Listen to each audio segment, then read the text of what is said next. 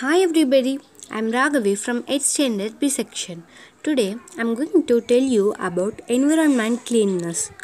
First let's see what is cleanliness. Cleanliness means keeping our surroundings and ourselves clean and free of garbage, dirt etc. It also means maintaining proper sanitation and hygiene. Now let's see our environment cleanness. Environment is a place where humans as well as plants and animals live. Keeping it clean and neat is our responsibility. It is necessary to keep our environment clean because we get fresh air, reduce pollution, etc. An unclean environment leads to a bad condition of society, arrival of diseases, and many more.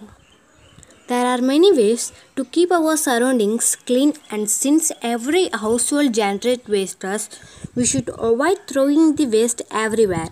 Garbage pollutes our environment, especially the plastic bags.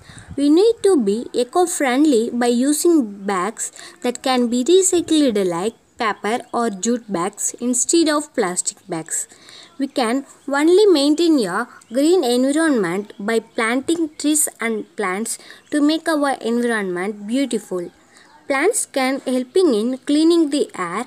Having them in house will reduce indoor pollution by more than half. Since we live in the society and we are part of the environment, we have the moral responsibility to contribute to a clean environment.